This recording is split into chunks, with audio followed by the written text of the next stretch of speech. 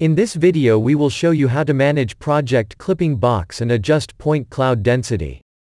Here we have very basic building 3D model that we will use for demonstration purpose. Let's go ahead and load our Undet project. Also we will use X-ray style, which will help us to better understand clipping box boundaries. At this point we see point cloud as it is loaded, we do not see all points. If project is not big, these points might be enough, but if we want to see more points and inspect point cloud data more careful we will have to create clipping box. First of all we recommend to change camera from perspective to parallel projection, because in perspective view some clipping options are not available, for example clip by line function. To start, we will create clipping box defined by rectangle.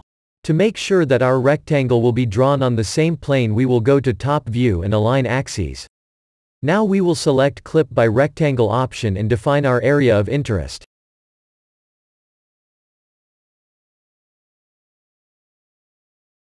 Our clipping box may be adjusted at any time using resize function from Undet clipping box tab.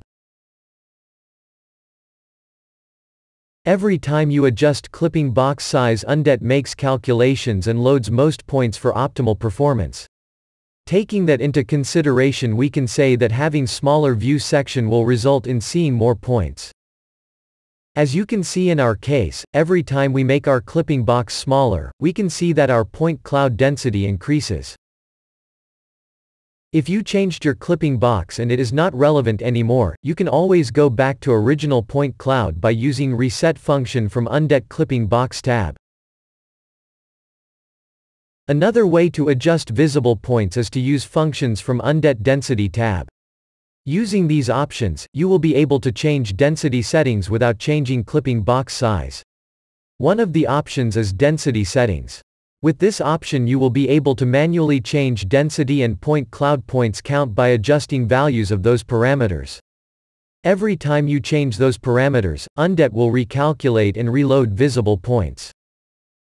But Undet also implied two automatic options to adjust density. First is high performance, which will decrease maximum points count and density until the point where your computer performance will remain smooth and undisturbed.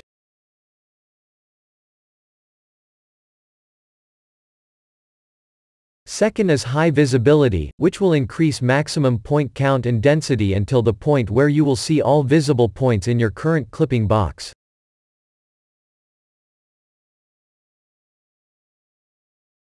Now we will create another clipping box, this time, it will be defined by line.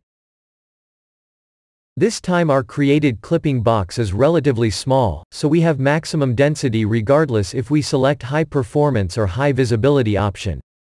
Only option that we can change now is points count.